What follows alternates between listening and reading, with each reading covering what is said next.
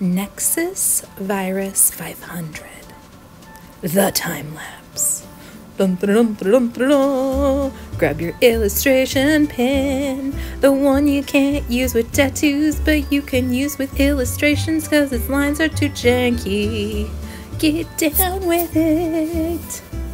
Get down with it. Do you feel like an alien today? Are you an alien like me? Ben came over and mentioned that it looked like an, an Andromedan. And I don't know what an Andromedan is, but I said absolutely. That's exactly what she is. I just found it satisfying. She looks like grief to me. You know, she looks like that separation from people we care about. That's why I called her Nexus Virus 500. So the apprentice comes in for a second and I show her, she asked me about shading something, and so I show her the shapes that I would do. And she made a cute little bat. She drew that.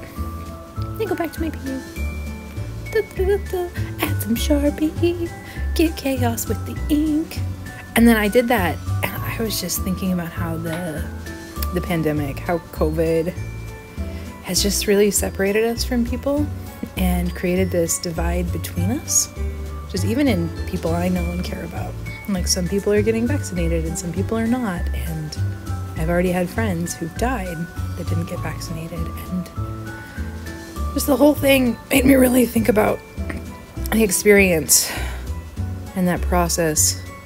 And so it felt really good to get my feelings out via the texture of this art. So for me, Nyx NYX is a seven year old destruction goddess. I'll be listing this in my Etsy, which is why I made a time lapse video of it.